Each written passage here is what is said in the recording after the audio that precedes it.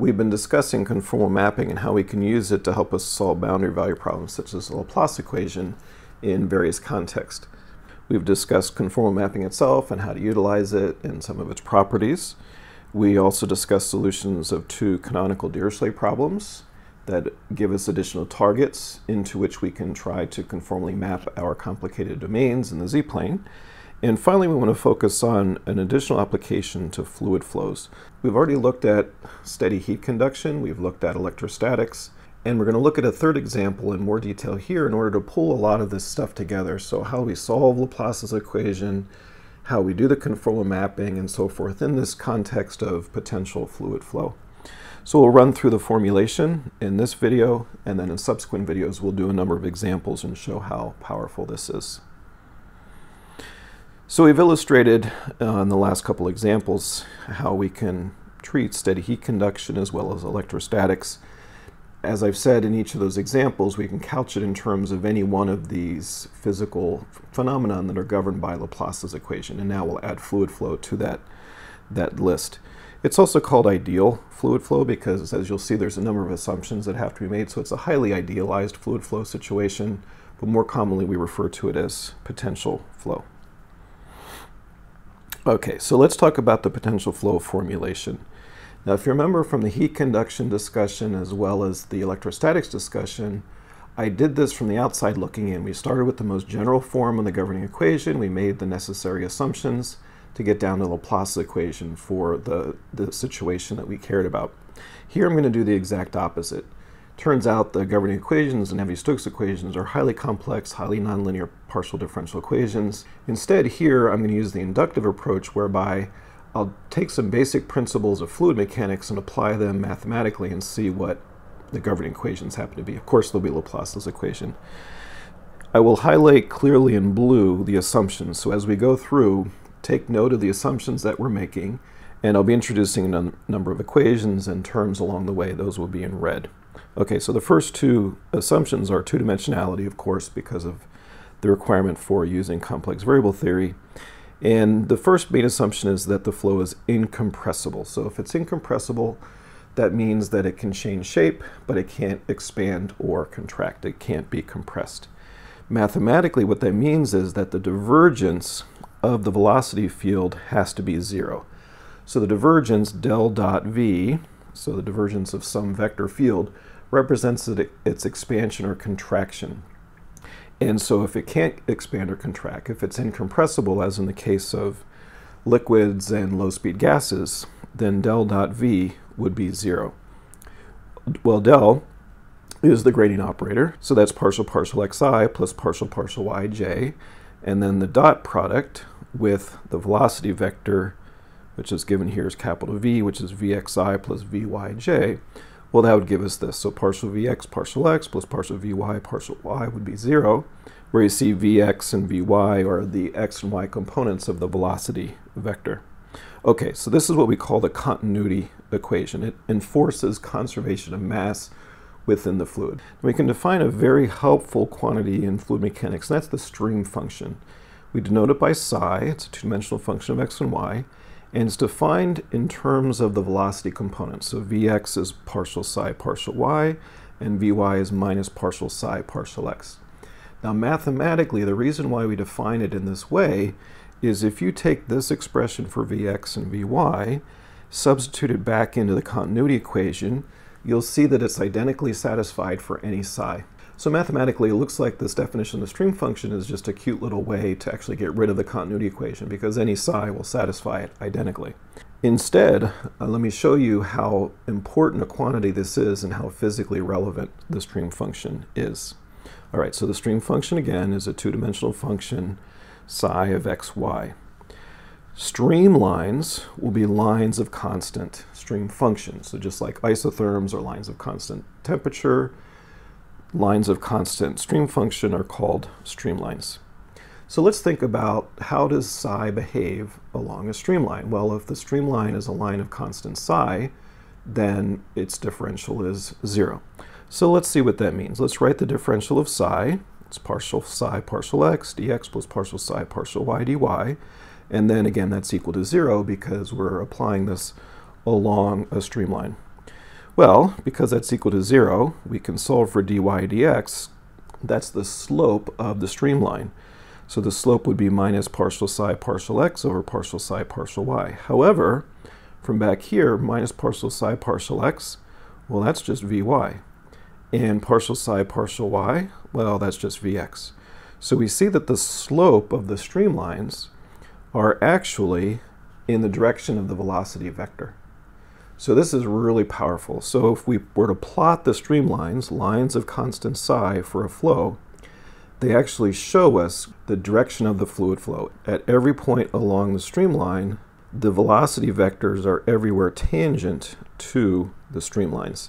So they show us the, the directions that the flow is flowing, is moving. So this is really a very powerful tool. And you'll find in fluid mechanics, it's very often that in, under, in order to understand a flow, in order to interpret a flow, we'll often plot the streamlines in order to help us do that. And you'll notice no additional assumptions have been made, just that it's incompressible. It's the only assumption that we need to make in order to lead to the stream function.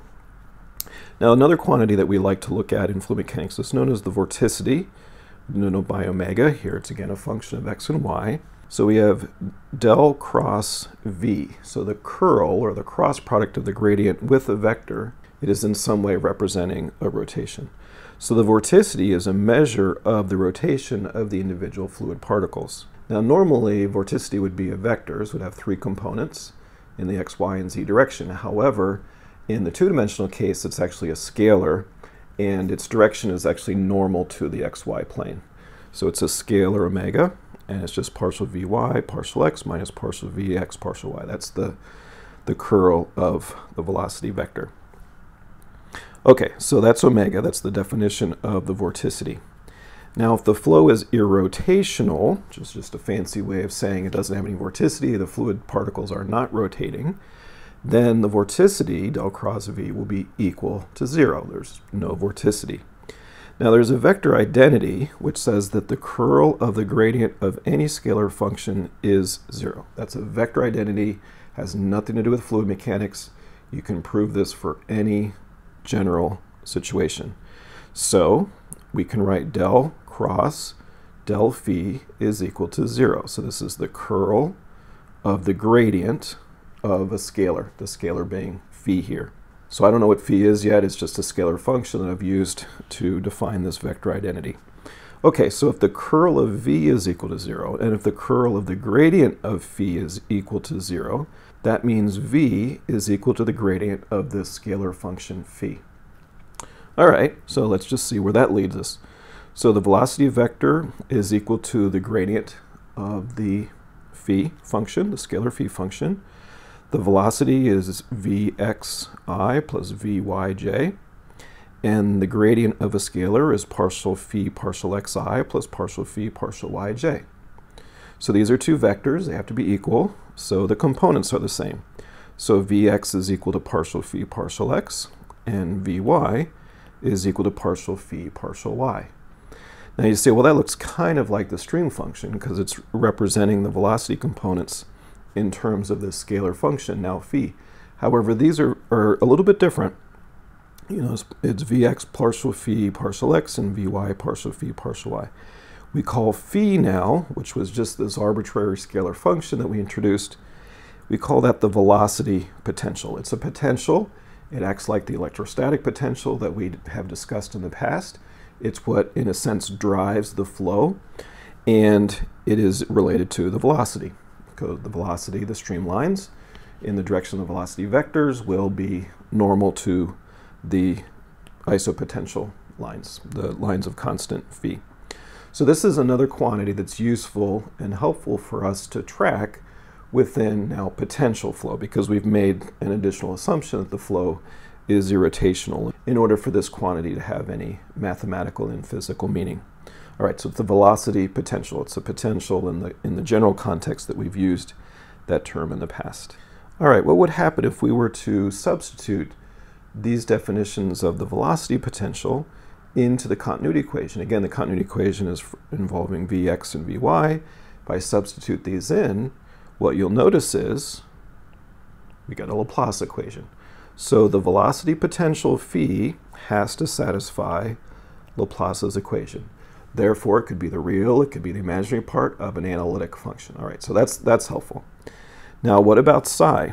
Well, let's see what happens to psi. If I substitute the definitions of the stream function into that of vorticity, so that means I'm going to take these definitions of the stream function and I'm going to substitute them in here for Vx and Vy into the definition of the vorticity. Well, we now get an equation that looks like this. Partial squared psi partial x squared plus partial squared psi partial y squared is equal to minus omega, the negative of the vorticity. So we almost have another Laplace equation in this case. This is actually called a Poisson equation. So a Poisson equation is a non-homogeneous Laplace equation, essentially. They're both smart French guys, so, so they get along well. All right. Now, remember, however, we assume that the flow is irrotational. So if it's irrotational, that means there is no vorticity. So look what we have. We have another quantity, in this case psi, the stream function, that also has to satisfy Laplace's equation. So it's exactly what we want. We have an analytic function, you'll see this in a moment, where the real and imaginary parts both have physical meaning, phi and psi. Now let's just compile the assumptions that we've made. Of course, two-dimensionality, incompressible, inviscid, and irrotational. So we call that ideal or potential flow. Now, even with all these assumptions, it turns out that this potential flow theory is very much in common use today. It's used in aerodynamics and other contexts as well. Not usually as the final simulation or the final analysis of the flow, but as a first pass. Now, for you non-fluid dynamicists, you're, you're thinking like this little squirrel here, you know, that's enough fluid mechanics, let's move on. Uh, so yeah, this was fluid mechanics heavy. In the end, we have two quantities, phi and psi, even using the same notation as before, they just now have different physical meaning. So phi and psi, they're harmonic conjugates to one another. They satisfy Laplace's equation, could be the real and imaginary parts of an analytic function. So uh, don't worry our little squirrel here, we're going to move on here.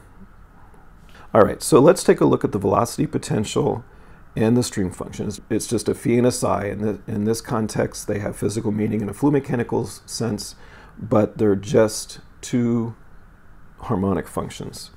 So the Cauchy-Riemann equations then, the u becomes phi and the v becomes psi, our real parts and our imaginary parts.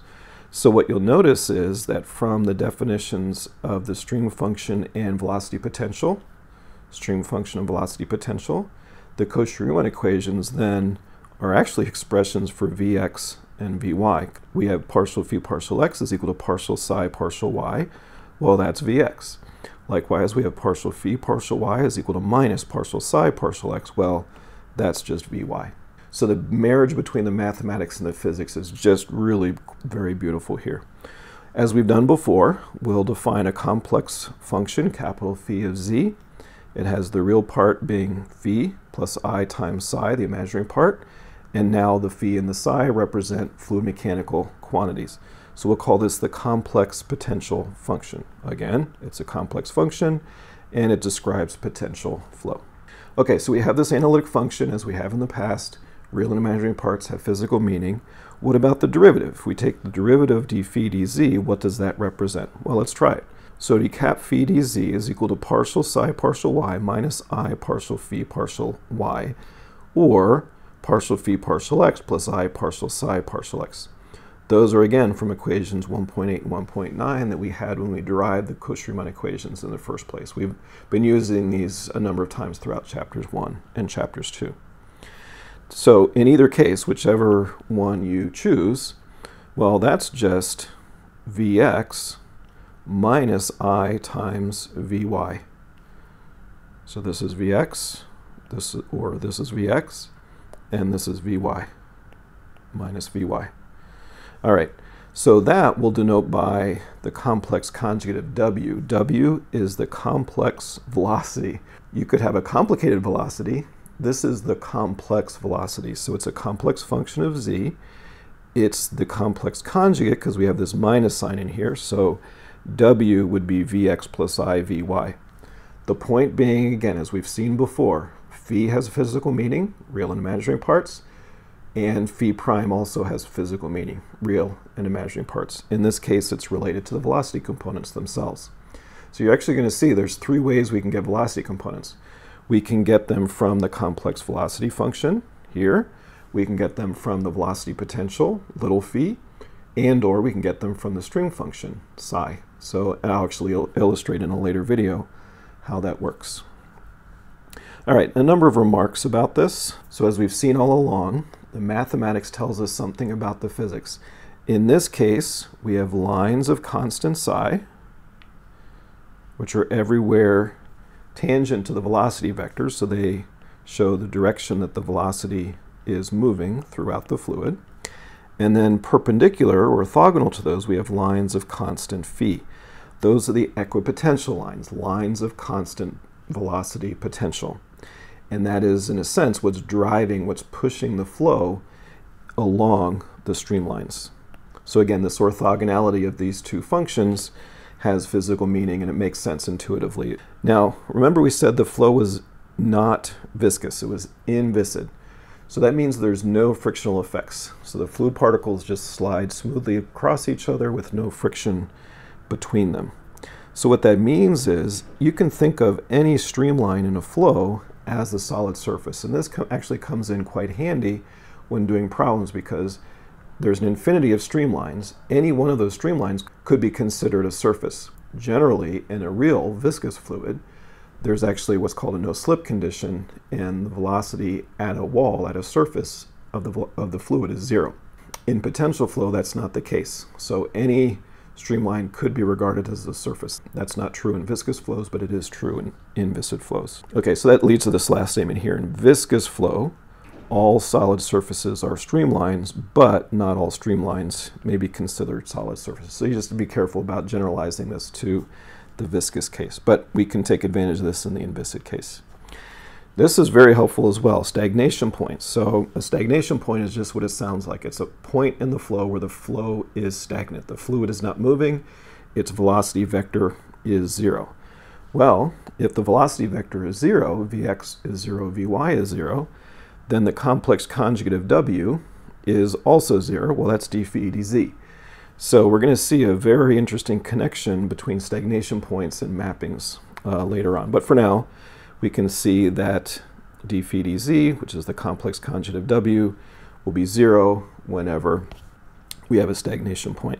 This is what I just mentioned a moment ago, where we can get the velocity components from the velocity potential, the stream function, or the complex velocity or its, of course, complex conjugate. Now we can do everything, of course, in polar coordinates as well. We have the Cauchy-Riemann equations in polar coordinates. We have a velocity vector in polar coordinates. Uh, here are the Cauchy-Riemann equations, and they relate back to the VR, v theta, and so forth, just like the, uh, the Cartesian case. Here's Laplace's equation in polar coordinates, same as we've seen before. And also the complex conjugate, the complex velocity, still d phi dz, but it's now VR minus IV theta all times e to the minus I theta. So you just have to remember this e to the minus I theta factor when you're extracting out the VRs and the V thetas from the complex conjugate of W. Okay, so we've seen a number of applications. Uh, there are others that we have not even mentioned, but I've compiled a list of them, them here. So they're all governed by Laplace's equation. They all have a phi and a psi that have physical meaning. And so we saw heat conduction, where the phis are the isotherms, lines of constant phi, and lines of constant psi are the heat flux lines. Electrostatics, we have the electrostatic potential, as well as the current flow lines. Potential flow, which is what we're looking at here, we have the velocity potential and the streamlines. Elasticity, gravitational fields, magnetism, all of these have different interpretations for what the phi and the psi represent. But again, in any of these contexts, we have Laplace's equation governing the physics, so therefore we can use complex variable theory, conformal mapping, and so forth to help us solve these problems.